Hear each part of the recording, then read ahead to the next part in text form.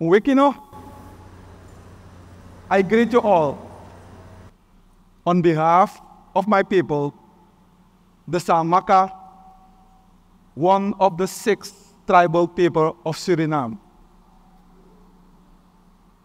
We are Afro descendants who fought and won our freedom from slavery more than 250 years ago. We maintain autonomous community in the rainforest.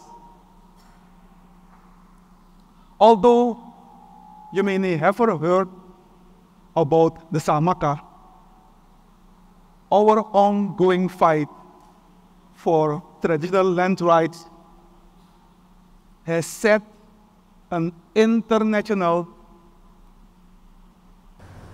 precedent for all these indigenous group gathered here today. I was born in the village of Tutubuka, known in Suriname as New Aurora. It's located at the mouth of the Tutu Creek before it gives its water to the mighty Suriname River. During my childhood, apart from attending primary school, all I knew was the vibrant rainforest around my community.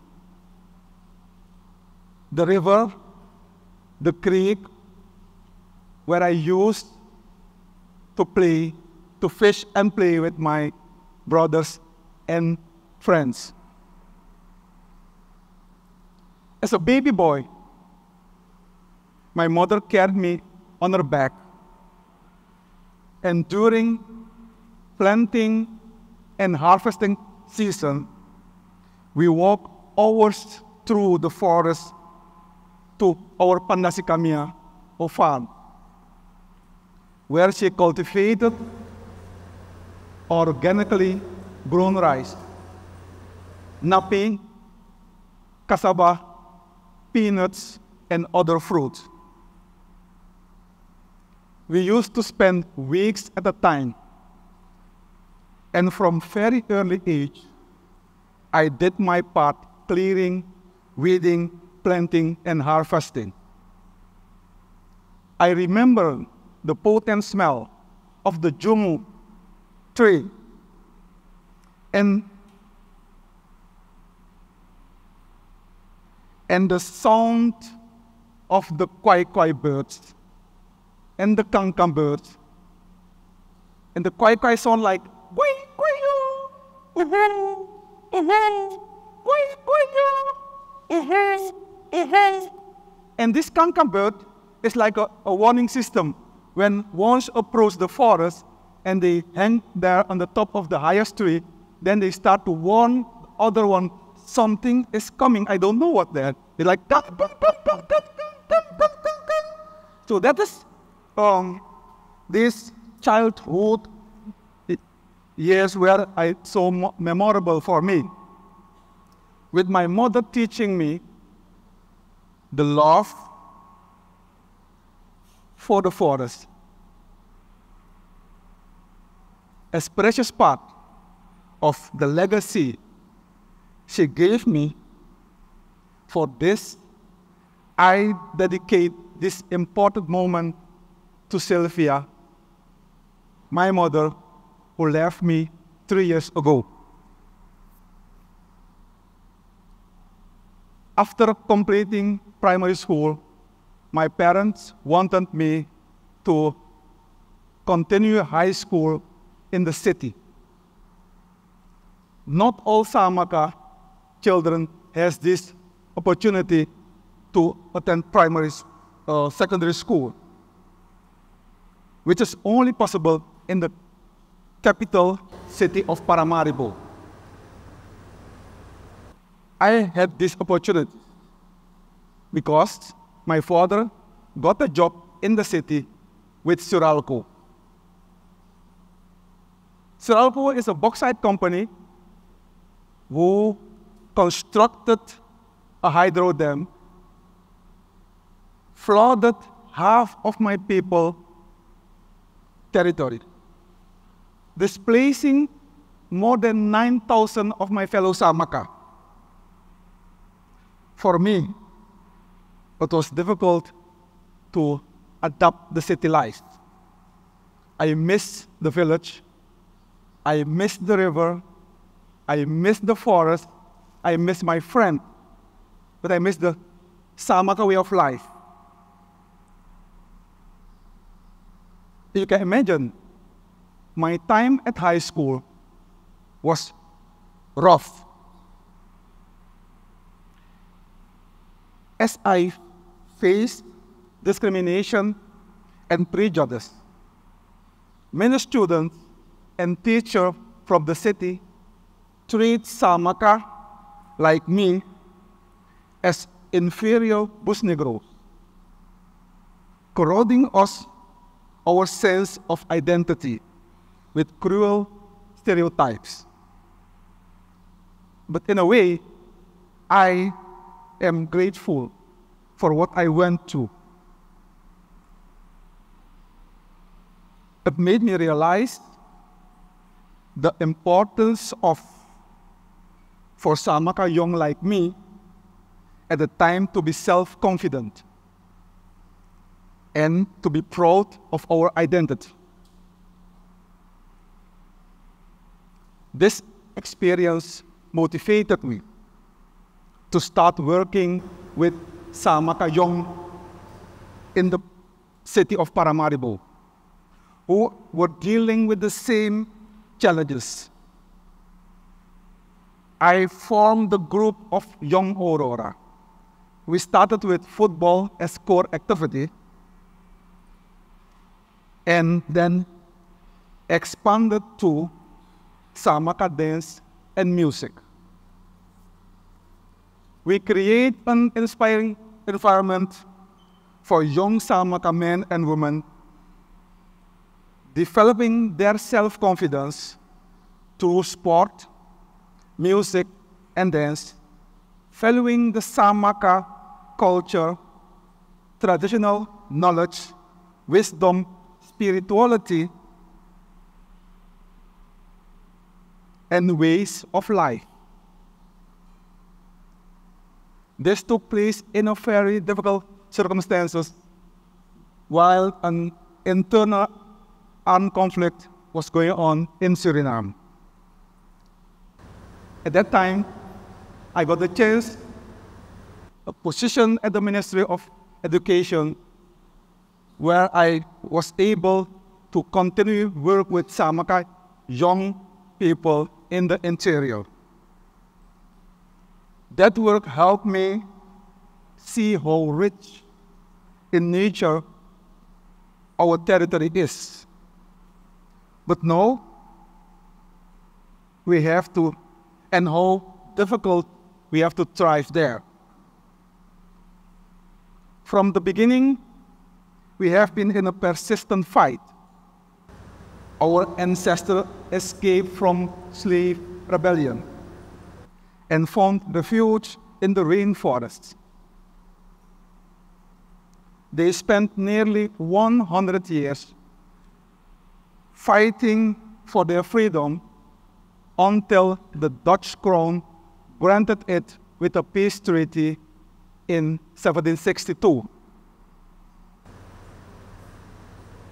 After centuries of connection for to our ancestral homes in the rainforest, we maintain a strong spiritual relationship to our territory. We've lived in harmony with the forest. Our forest is more than a source of subsistence. It's the foundation of our culture, our belief, our social system, and our cultural identity.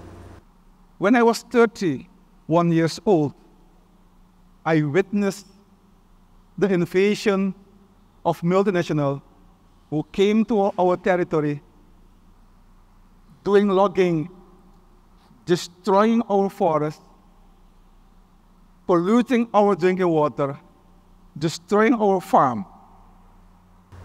As young, and I decided with other Saamaka young to organize our people, to convince traditional leaders of 20 villages to organize themselves in the Association of Saamaka Authority. So in 90, because in 1996, the government of Suriname granted much more concession to multinational to do logging and mining in our territory. Saamaka were forbidden to hunt in their own forest, to live their normal life. This motivated us to take action.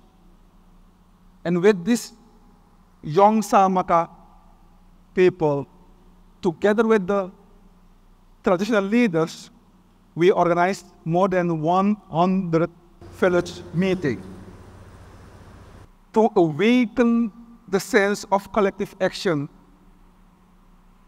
And it was the beginning of a 10-year struggle to secure our land rights. We prepared maps delimiting our ancestral lands and made four petitions to the government of Suriname. We met various state officials, including the Attorney General and ministers. But we felt that we couldn't get justice from Suriname. Given the negligence of the government, we decided to fight our fight on, based on international human rights law. Because Suriname is member of the Organization of American States, and international law is higher than national law. So when we feel like no justice in Suriname, then we move one step higher. So we move to the international system. In 2000, we filed a complaint with the Inter-American Commission on Human Rights. The commission looked at our case and they declare our case admissible. And because we need this admissibility, to move further. And after admissible, we need to come with friendly settlement. The government of Zimbabwe was not willing to settle in a friendly way. And then we decided to ask the Com Commission of Human Rights to submit the case to the Inter-American Court on Human Rights based in Costa Rica. Finally, in 2007, the Inter-American Court ruled in our favor. They forced Suriname to legally recognize the rights of the Saamaka people on their traditional land.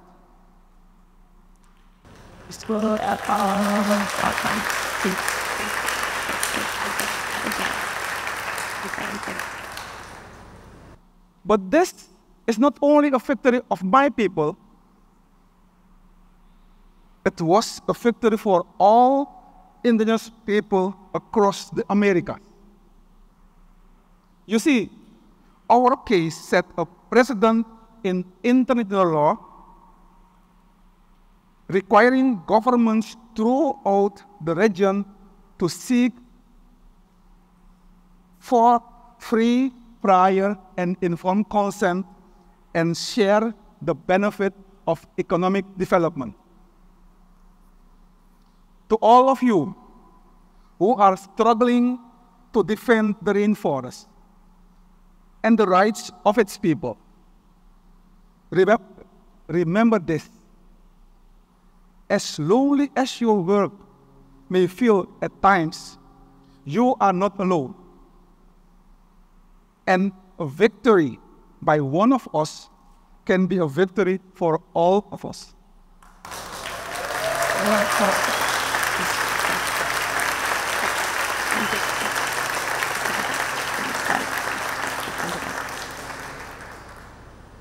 Bringing this case before the Inter-American Court of Human Rights was also a turning point of my own life. As I earned a law degree while helping to build this argument, I was once afraid to studying at the university because I didn't want to be alienated from my people. But I am now convinced that my university education was key to defending the rights of the Saamaka people and to better amplifying their voice. Since the ruling of the International Court of Human Rights, I and the rainforest warriors behind this case has not ceased to advocate for the rights of the Saamaka people. For almost 60 years, we have been pushing the government of Suriname to implement the inter-American ruling. This advocacy has been not easy as we have come up against powerful opposing interests. Concern for my personal safety led me in 2016 leave Suriname and live for the past seven years in Europe. Last year, I could return to living in Suriname after almost seven years away from my country, my family, my people. I reconnect with my Saamaka roots, with the forest and with Tutubuka. A few weeks ago, I went to visit our Pandasikamian. Walking again, the forest path I once traveled on my mother's back. It was a beautiful, revitalizing walk through the forest while smelling the jumo flowers, listening to the kwai kwai birds and the kanka who play the role of warning system. I always give the song, kwai kwai uhu, uhu, and the kanka said, kang, kang, kang, kang, kang, someone is coming, watch out. I felt born again. The vibrant jungle, the creek, and the biodiversity remain unchanged.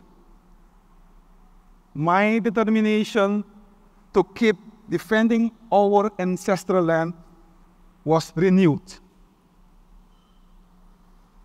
I'm grateful also to have been able to reconnect with my good friend and partner,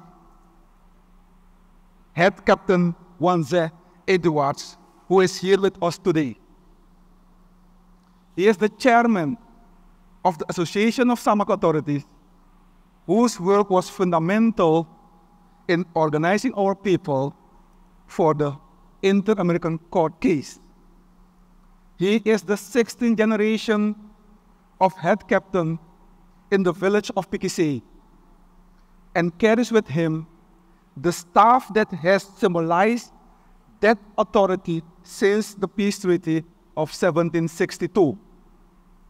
Although I have speak, I have addressed you in my third language, English, he will speak to you in Saamaka, the language of our people. Kapte wazeng, ntakai kwa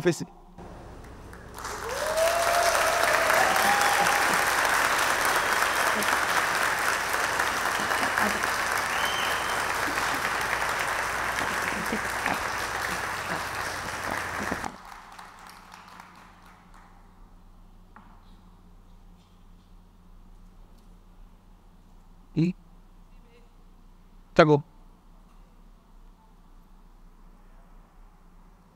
Oh. Yes, I'm waiting on home from where. He greets all of you.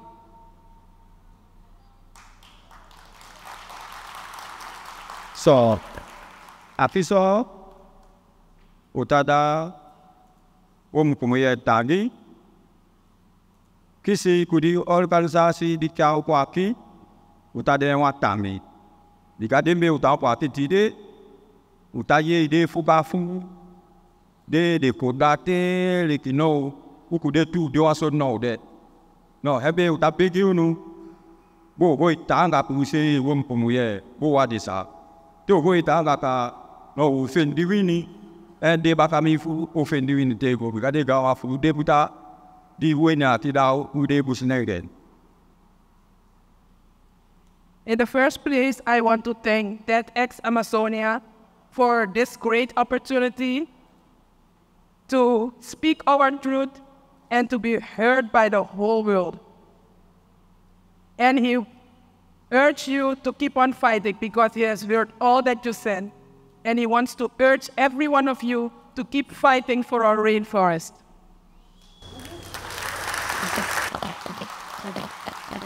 Well, do get these in on. And uh, because I didn't pay that is all. Eh, ifuka, ide kufuka. Eh, ya taki. Seme ausa ta ifuka. Eh, utu aleti. Fi taki di son di ta fukai. No, di seme o repi. No, di rikere fu de konde. No, wam tu fe fu ta chai taki guadi. Um ta chai taki guadi. Bede he pi ubiga. Ufuka. No, wam tu fe fu se untuk panyau se tanga de busidenge. Te kisi ukau ta pati. Wabo pati di fau ta pati. Am tu deta ti da lasti da ka fau ta pati no ukunu au mitimo. Am tu deta um tu ta miti nango no mo fu ta ta ki ku se. No wo sabi. Ande da di fuka fu. Te o ta miti ta ta ki. Mika hebe u fene. Ta de Ma fau ta pati. Uye de fuka tu. wa sembe de wisi fa un u ba ma wa sembe de no mbo ta se ka so nu fu fa sa bu nu mbo be ga ta ngi fu nu We should not be afraid to speak our truth. He has heard what all of you said. And he sees that we have the same problems. We tribal people have the same problem. And we only have one goal and one dream that is to secure and protect our rainforest. Because we are the rainforest and the rainforest is us. Thank you very much.